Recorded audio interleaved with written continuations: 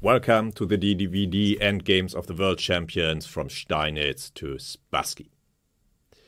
I use a lot of material from the Chessbase Masterclass series where I have recorded the section on the endgames.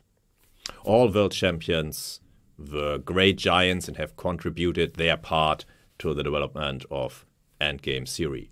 Starting right from Wilhelm Steinitz, later called William, um, who laid the foundation of the positional theory of chess and also contributed a lot to endgame knowledge.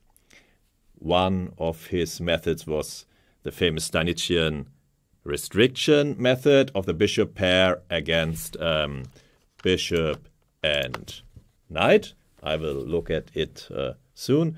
Already now, um, for several world champions, uh, some examples with the annotations are taken from the Linde World Championship series, which was published in the publishing house of Hannah Russell, where I um, made additional annotations. And many thanks for allowing me to use them um, here.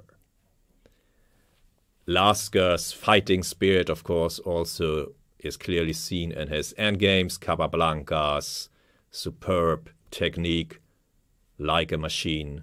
Study that chapter to sharpen your technical skills. Alekhine's attacking spirit, also like Spassky. I hope that I can show that this also is valid for their endgames. Euwe's scientific approach, like uh, Botvinnik also, and Steinitz. Then um, Misha Tal's magic.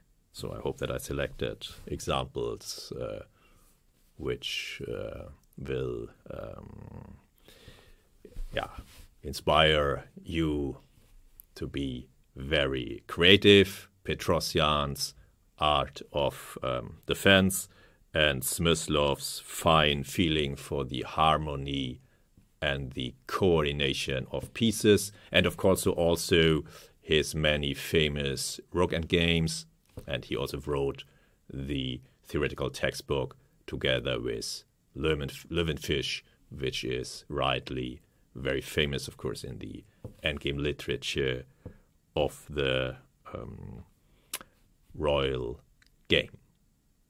Yeah, now I want to have a short look uh, at the Steinitzian method of restriction against uh, Berthold Englisch, uh, London 1883.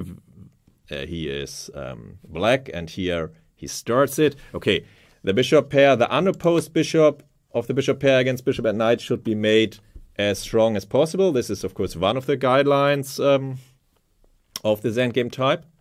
And uh, bishop at knight should be restricted as far as possible using the pawns, and Steinitz does it here in an exemplary way. b6, taking away the uh, northern moves of the knight and also restricting the bishop. Here, white must play knight d4, not to be completely dominated. This is a mistake because now comes c5, yeah, taking away the d4 square, and the knight b3 uh, is much restricted. I mean, this is usually a bad knight, it's a very bad sign.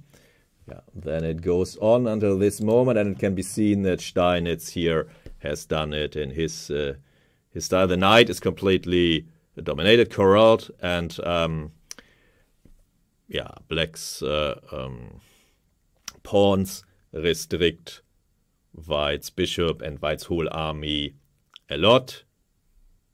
The result of the method. But now it's not so easy to make progress. And he was also a master on that on the transformation of advantages. He exchanges the defensive bishop, which guards important squares and pawns, and then converted the, the resulting endgame with rook and bishop against rook and knight, which nowadays might be called Fischer endgame of the le legendary American world champion Bobby uh, Fischer, who won many games with this. But of course, he is not dealt with on this um, on this uh, DVD. It is from Steinitz to Spassky. And yeah, as I hope I could prove, already Steinitz um,